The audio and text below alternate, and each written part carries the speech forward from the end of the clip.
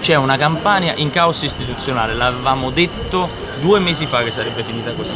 Oggi abbiamo i consiglieri regionali che devono chiedere per favore se entrare in consiglio regionale. Questa non è più democrazia e soprattutto la cosa che mi preoccupa è che questa è una regione in cui 10.000 famiglie non prendono più lo stipendio, quelli dei consorsi di bacino. Ci sono il 60% di disoccupazione giovanile. Abbiamo la terra dei fuochi e da un mese la campagna non ha più né il governo e né il consiglio regionale. La, la, convocazione per noi è, legittima e tuttora esistente, questa seduta doveva servire a prendere atto della sospensione di De Luca, invece De Luca mette le mani sul Consiglio regionale attraverso il consigliere regionale anziano che è del PD e quindi sconvoca la seduta per evitare che si prenda atto della sospensione. Questo è un fatto gravissimo che interrompe un iter di legge, quindi noi oggi siamo venuti qui, non abbiamo ricevuto al, al momento in tempo congruo nessuna comunicazione ufficiale e siamo venuti a dire che noi c'eravamo. Quello che io voglio raccontare ai cittadini non sono i problemi giuridici che sono anche difficili da capire in questa questione, è dire che è passato un mese dalle elezioni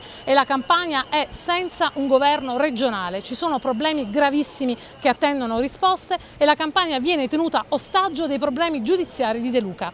Chiediamo che si vada subito al voto, che si risolva questa questione assurda che va avanti di forzatura in forzatura, di illegittimità in illegittimità, la campagna ha bisogno di certezze e ha bisogno di qualcuno che si metta a lavorare subito, immediatamente. Si sta andando avanti soltanto attraverso forzature, si faranno atti che potranno essere impugnati, c'è un'incertezza assoluta, l'ha capito anche Renzi che ha evitato di fare una legge ad persona e alla fine, forte del ricorso che noi gli avevamo fatto, ha deciso di sospendere De Luca secondo la Severino. Adesso è De Luca che invece viola la legge e impedisce al Consiglio regionale di prendere atto della sua sospensione. Noi non lo permettiamo, la battaglia per la legalità e la battaglia per il futuro di questa terra non è una questione di cavilli giudiziari, noi chiediamo certezza, chiediamo regolarità, chiediamo che le istituzioni possano lavorare e che non vengano bistrattate come sta succedendo.